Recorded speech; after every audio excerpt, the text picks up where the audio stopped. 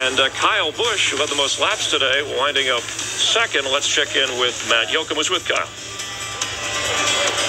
For the third time in his career, young Kyle Busch finishes second. The second time, you finished second to the 17, but you guys are getting closer and closer. Yeah, that's right. This team is an awesome team. The Lowe's Chevrolet ran awesome today, and we led the most laps. I don't know what happened there at the end. I don't know if we lost the racetrack or what exactly, but um, man, I, I can't thank Lance McGrew and those guys enough. They're a championship caliber team, and they sure proved it today, getting me in and out of the pits first every time. And uh, you know, I just take my hat off to them, and we got to thank Pella, Briggs and Stratton, Shop-Vac, Gladiator Garage Works were on the side today. So everybody's done an awesome job, and it's just a matter of time before things all come together and we make it to that number one spot. But uh, we're excited.